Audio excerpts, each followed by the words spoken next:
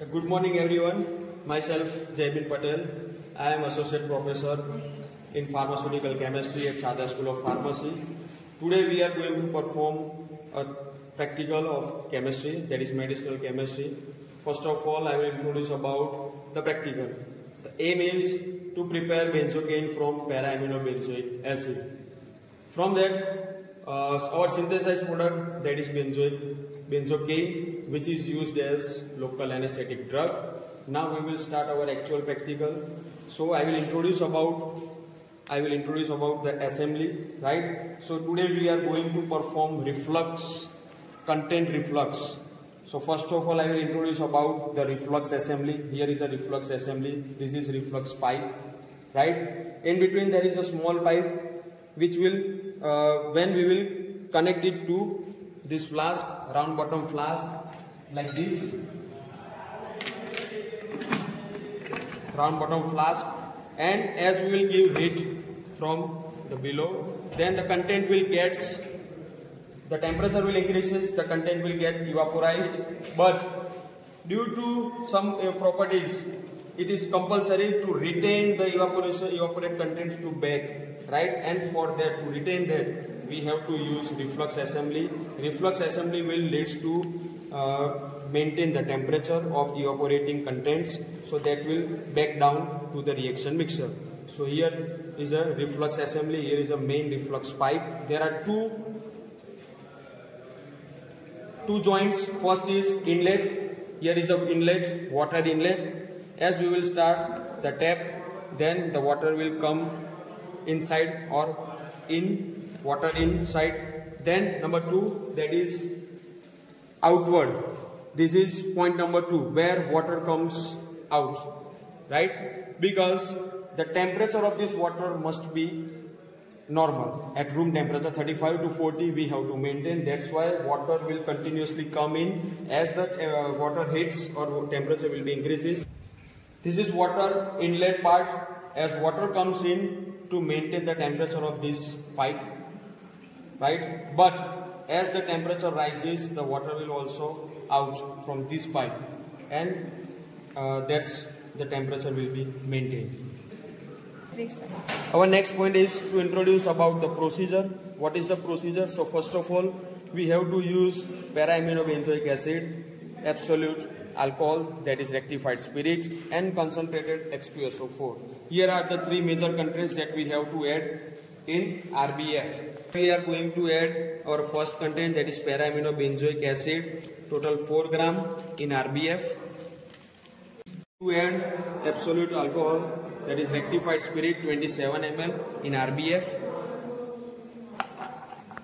now we are going to add concentrated H2SO4 slowly in the reaction mixer.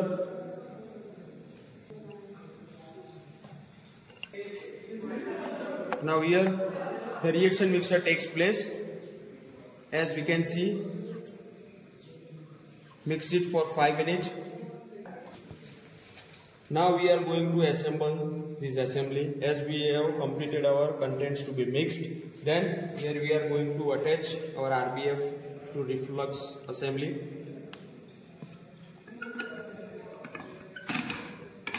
Set the height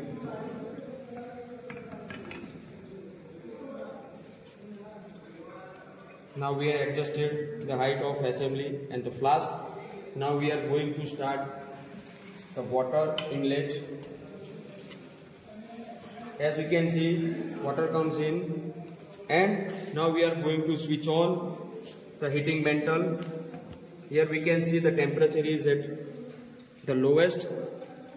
And the temperature is to be kept to be kept is 70 degrees celsius now here we have completed all the procedure the mixing procedure to keep the content and the assemble procedure is over. Now our actual work is going to start. That is the content should be reflux for one hour right? So here temperature we had maintained that is 70 degrees celsius and we will keep it for one hour okay now as we discussed uh, one hour reflux uh, condensation for one hour in reflux condenser. So our one hour is completed as we can see here. Our solution is clear as per the procedure.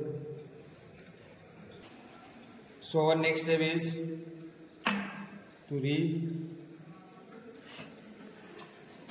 transfer the content from RBF to 250 ml beaker. See the solution is solution become clear.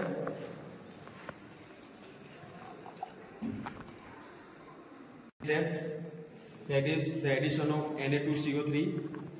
Next point is to add Na2CO3 in this filter solution or in a hot solution. We are going to add Na2CO3 until the solution become neutral and we will check by using pH paper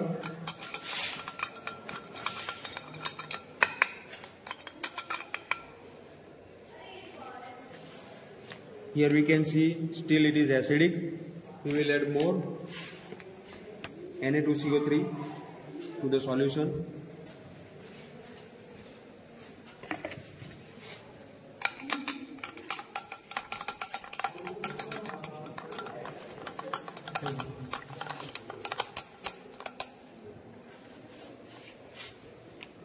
Still is acidic.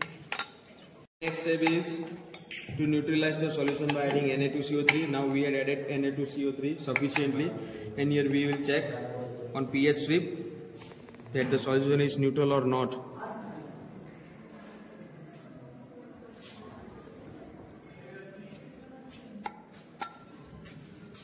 As we can see, it turns into olive green almost to 7 so now we can see our solution is neutral. So next step after neutralizing the solution by adding Na2CO3 we will put it to ice bath for 5 to 10 minutes.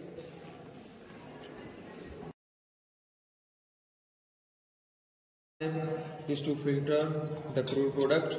Here is our crude product we can see now we now we will filter.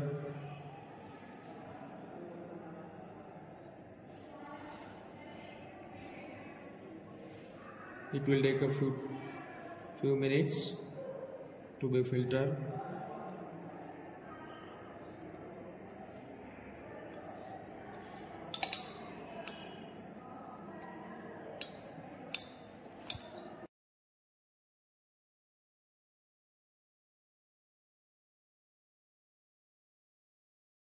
So now finally uh, we have completed our synthesis. As we can see the weight of final product weight is 3.464 gram of benzocaine drug. Now come to the calculation part. Calculation part first of all we will find first theoretical yield. So theoretical yield that means to 137.14 gram molecular weight of PABA and 165.19 uh, molecular weight of benzocaine. So 137.14 gram per mole of PABA contains 165.19 gram per mole of benzocaine.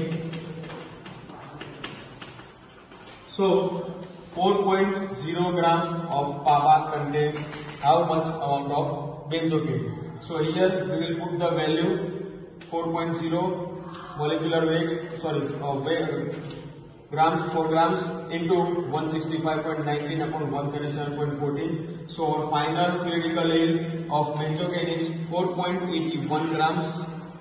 Our theoretical yield now come to the practical yield as we have measured the weight, the balance that is 3.464 grams. Our weight practical yield of benzocaine is 3.6464 grams. Now come to the final step, percentage yield. Percentage yield is equal to practical yield upon theoretical yield into 100. So, percentage yield, its practical yield or practical yield is 3.464 upon theoretical yield 4.81 into 100. So,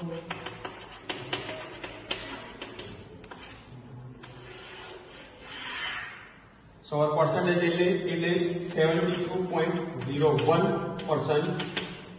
So we get our percentage yield of benzocaine is 72.01. So here is a complete practical of our today's synthesis that is benzocaine. Here is an entire calculation as we discussed theoretically, practically, percentage and last that is the result table. Here is a result table you can see. First theoretically that is 4.81 grams, practical practically 3.464 grams benzocaine and percentage yield we got 72.01 percent right and at the last at the last melting point 80 to 88 to 92 degrees Celsius.